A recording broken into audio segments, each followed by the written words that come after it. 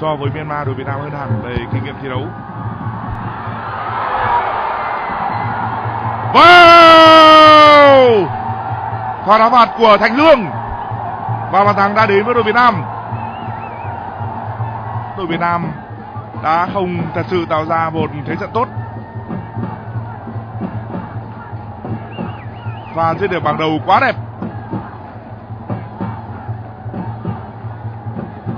Tấn Tài đón bóng ở cột gần và dứt điểm đầy cảm giác.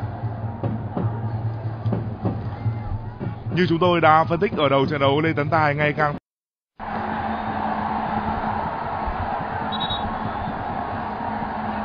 Và như vậy là một quả penalty dành cho Myanmar.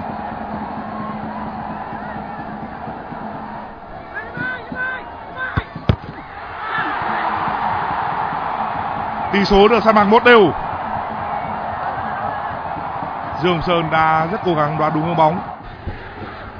Chúng ta xem lại quả penalty của Kiu Lin. Anh đá bóng khá